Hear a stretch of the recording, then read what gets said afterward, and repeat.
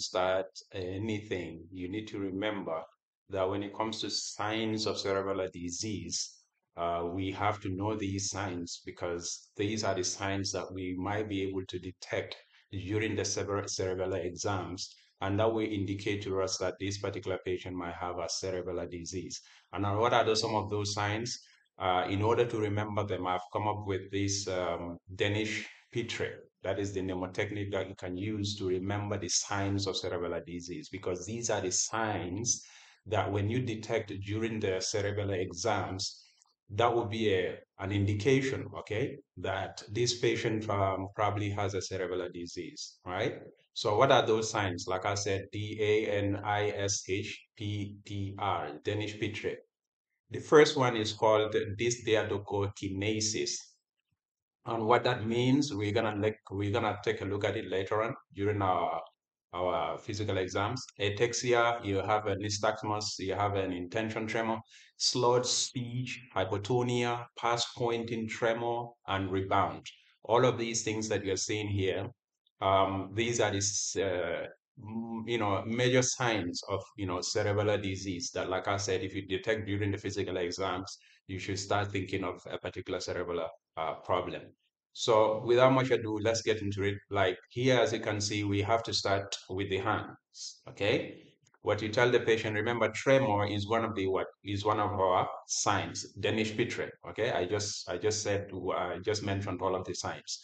Under Danish Pitre, you have tremor as one of the signs. First things, that's why you need to start, you can start with the hands, you can start with the march, okay? The gait to see, to assess the gait.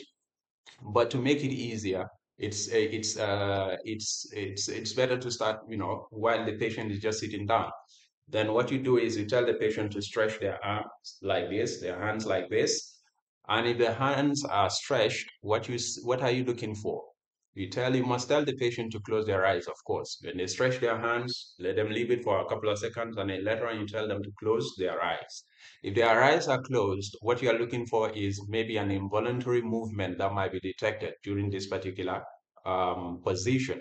Um, if that involuntary movement is there, you know, that might be a tremor, like they do like this and they start tremoring, tremor, tremor, tremor, and like that. So that might that might suggest that they might have a cerebral disease because tremor, okay, when you're sitting down like this and you stretch your hands like this, you shouldn't have you shouldn't be having like that kind of tremor.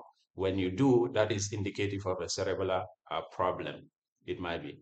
So then from there, in the same hand, as their hands are stretched like this, okay, that's where we started with to see if they have a tremor or not. You tell them to stretch it like backwards like this. And if they do, what you are doing is you're trying to press your hand. You, the examiner, you see the examiner, you, the examiner, you're pressing your hand against theirs to check for a what? A rebound.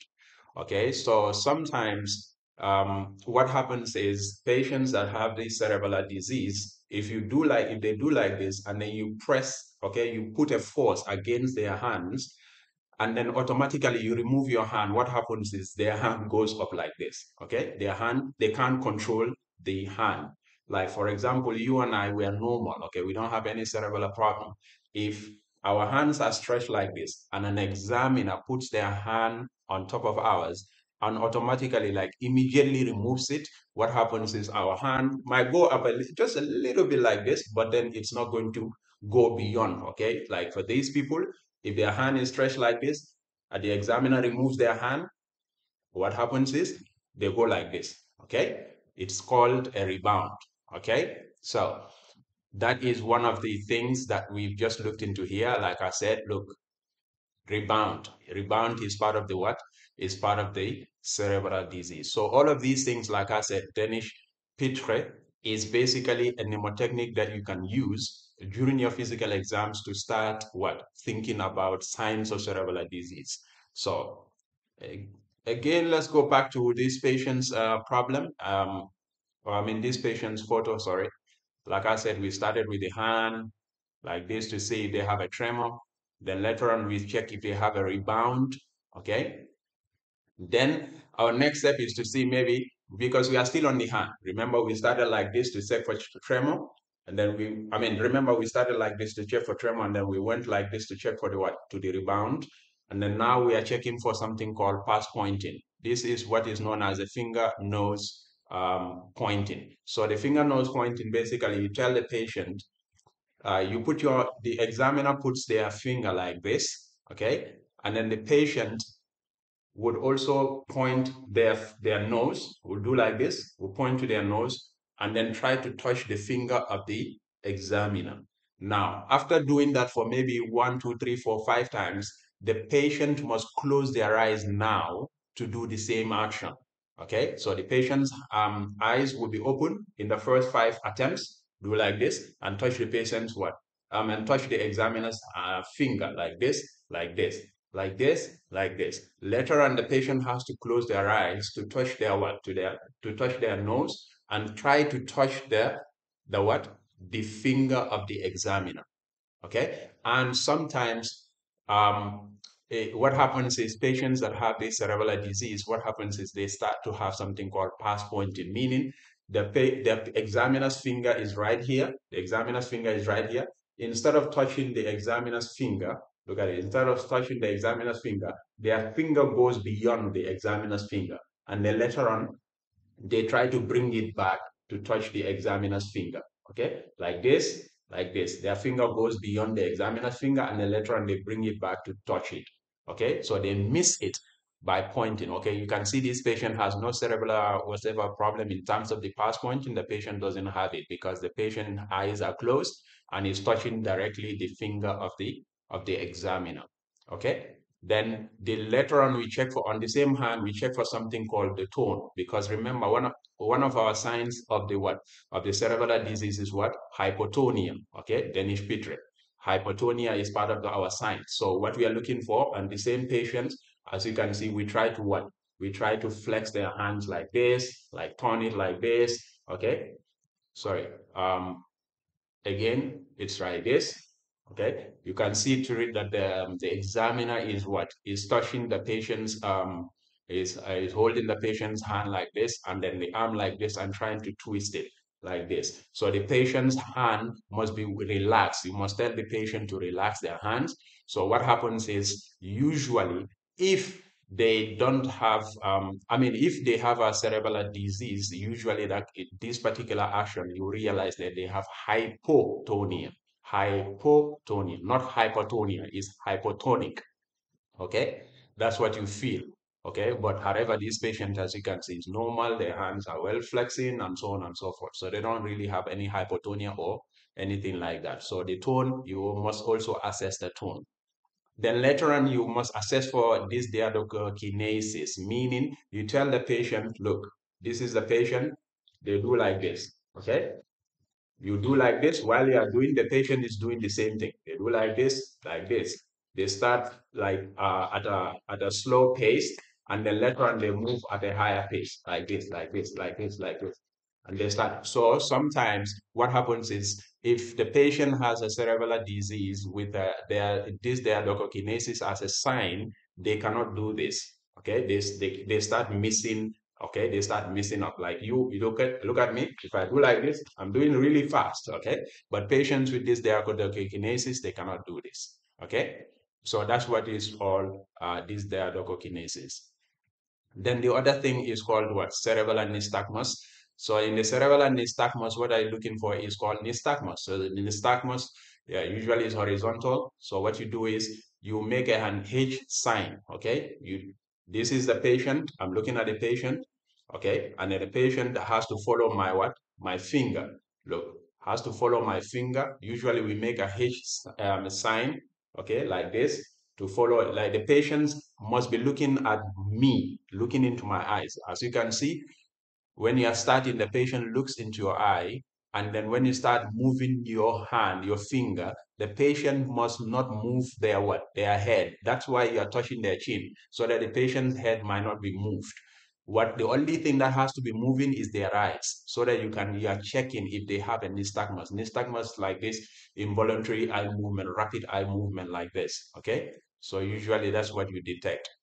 Then other on then the other thing is like the slurred speech Okay, the slurred speech, remember, is one of the signs of our cerebral disease. So how are you looking for that? You're looking for that by asking the patient to repeat certain phrases. One of the most frequently used phrase is called British Constitution because it has a lot of okay? So you're going to see if the patient can repeat some, something like this or other things, okay, that, that include um, repetitive phrases like, okay? So you have to tell the patient, repeat after me and then you say British Constitution, something like, and the patient has to say it.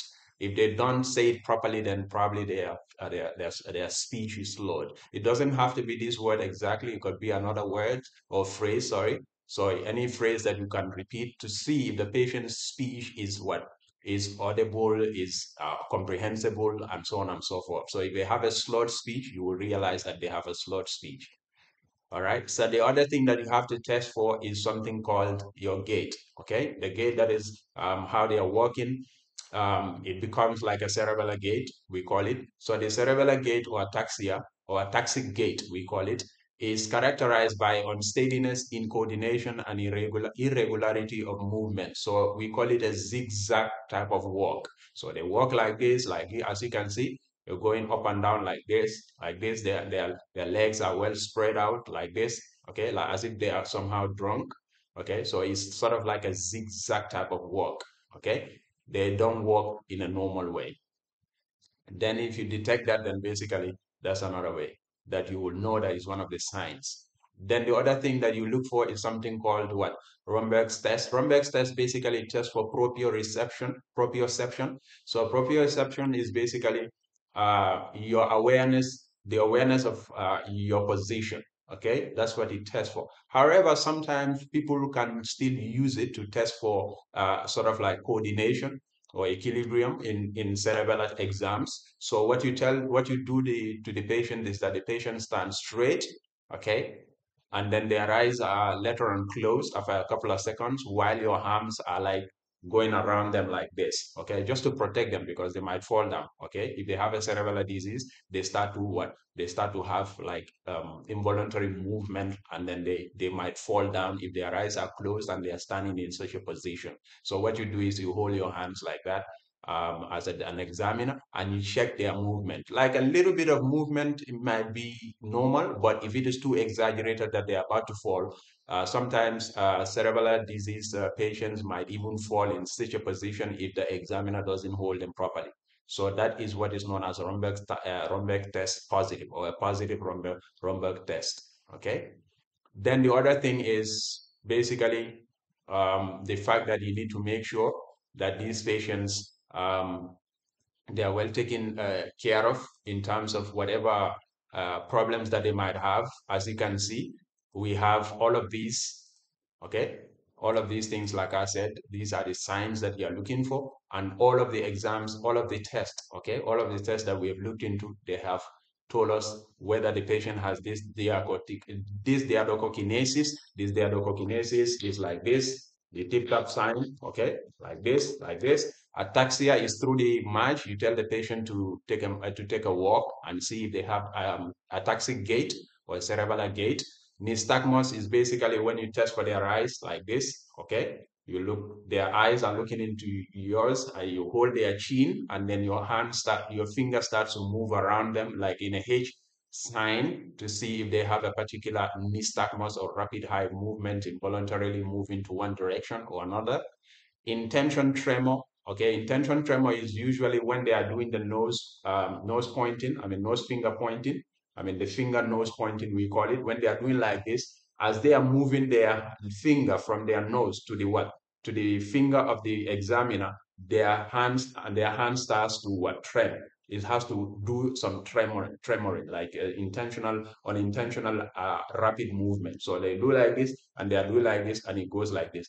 Their hand is trembling. So we call it intention tremor.